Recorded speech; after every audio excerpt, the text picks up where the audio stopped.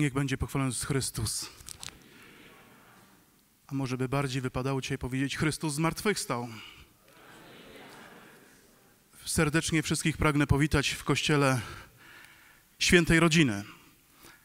My dziś, mam nadzieję, będziemy taką świętą rodziną wszyscy, idąc tą drogą światła przez ulicę Bałut, tym razem nie centrum, ale nieco opłotkami miasta, ale tu też jest potrzebny Pan Jezus i to czasami bardzo. Cieszę się z obecności wszystkich duchownych, e, świeckich, nas wszystkich, którzy jesteśmy, by radować się z czasu zmartwychwstania Pańskiego, by uczestniczyć w tej drodze światła, by być, daj Boże, także światłem dla naszego miasta. Księdza arcybiskupa poprosimy o słowo wstępu, wprowadzenia, rozpoczęcia tej naszej drogi.